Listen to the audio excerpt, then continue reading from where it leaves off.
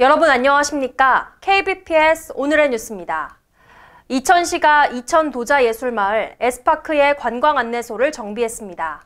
이번 정비로 방문객들은 관광 안내소에서 에스파크 입주 작품들을 미리 감상할 수 있습니다.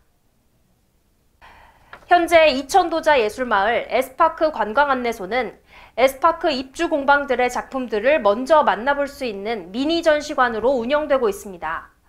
이천 도자예술마을은 도자기를 중심으로 회화, 규방, 가죽, 공예, 목공예 등 215개의 다양한 공방들이 입주해 있어 다양한 볼거리와 체험 활동을 제공하고 있습니다.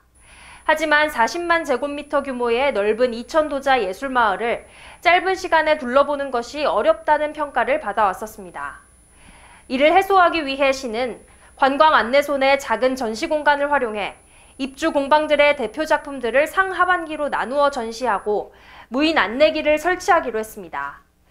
이제 방문객들은 입주 공방들의 작품들을 미리 감상하고 무인 안내기를 이용해 공방 위치와 작가 소개, 작품에 대한 안내를 보고 취향대로 이천도자 예술마을을 둘러볼 수 있게 됐습니다.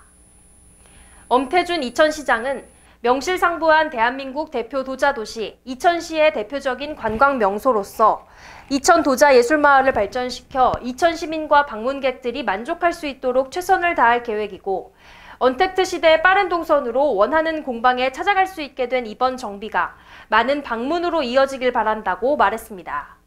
지금까지 KBPS 김수아입니다.